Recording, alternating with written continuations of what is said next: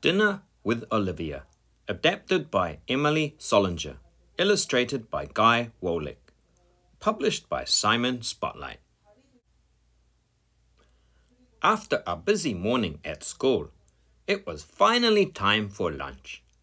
Olivia joined her friends Julian and Francine in the cafeteria. A cream cheese pickle and raisin sandwich, Olivia announced as she opened her lunchbox. She took a big bite and smiled. Julian had a peanut butter calzone for lunch. Want a taste? he asked. I don't think so, said Olivia. No, thank you, said Francine, as she took her lunch out of her backpack. It was a shiny purple box. What kind of lunchbox is that? asked Olivia. It's called a bento box, said Francine. My parents got it for me in Japan. Each compartment held a different kind of food chicken satay, baby corn, starfruit. And that wasn't all. Look at this, Francine said proudly as she took her utensil out of the box. Wow, Olivia and Julian said at the same time. Cool spoon, said Julian.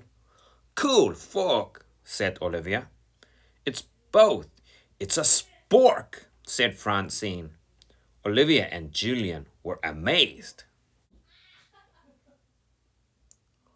Francine dug the spork into her bento box and pulled out a Brussels sprout.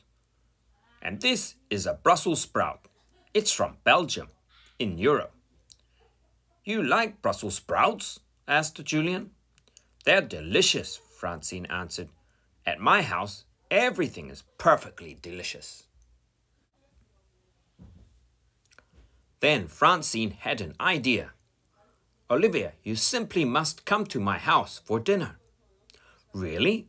Will there be Brussels sprouts? Olivia asked. Of course not, said Francine. We never eat the same food twice in one year. Olivia was happy to hear that. I'd love to come. Thank you. Perfect, said Francine. I will have my mother call your mother. At home that night, Olivia decided she needed to practice her manners before going to Francine's house for dinner. So she hosted her own dinner party. She reminded her guests to always say please and thank you, and to put their napkins on their laps. She told them never to fall asleep at the table. She made sure that they remembered to chew with their mouths closed. At a fancy dinner party, everything needs to be perfect, Olivia told her guests.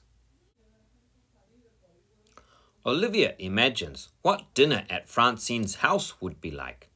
She pictures a fancy party at a mansion in the English countryside with waiters on roller skates, serving pink lemonade in tall glasses, with curly-Q straws and monkeys juggling fruit. Olivia, dinner time, called her mother, interrupting her daydream.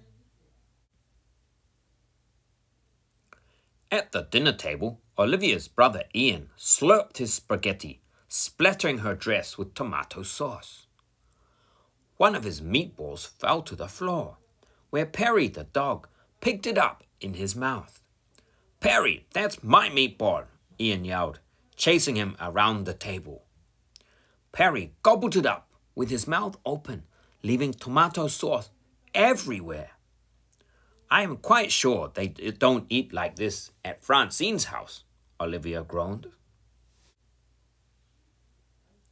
The next day, Olivia walked to Francine's house with her mother and brothers. Have fun tonight, Olivia, her mother said, and don't forget to invite Francine to our house for dinner too. Our house? said Olivia, horrified. She looked over at her brothers. Ian was blowing bubbles in his jukes box, and William's face was smeared with jam. She imagined what dinner at her house would look like to Francine. Welcome to our humble cave. At Francine's house, Olivia gave Francine's mother a bouquet of flowers. Why, thank you, Olivia, but I have a rule about no fresh flowers in the house, said Francine's mother. They make such a mess when their petals drop.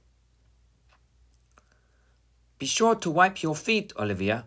We mustn't get footprints on the white carpet.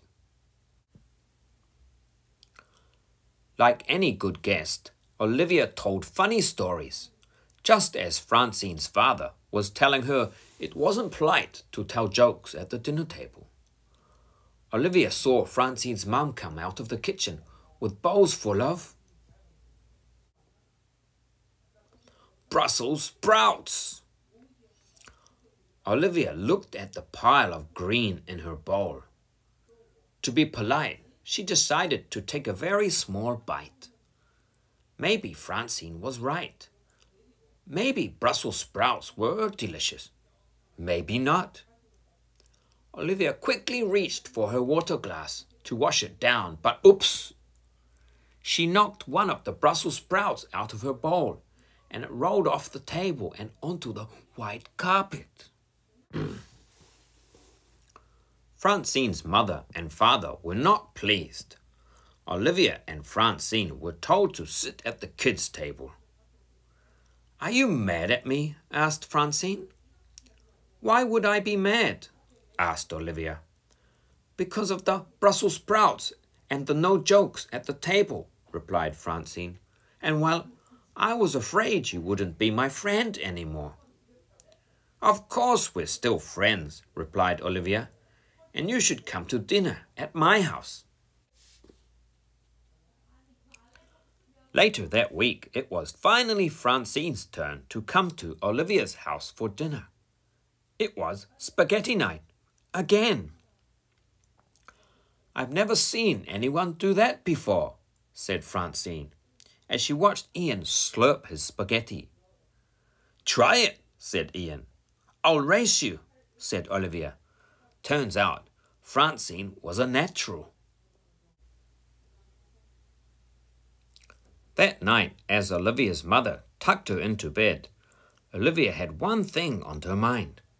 Can we have spaghetti again tomorrow night? she asked. That's a little too soon, don't you think? said Olivia's mother.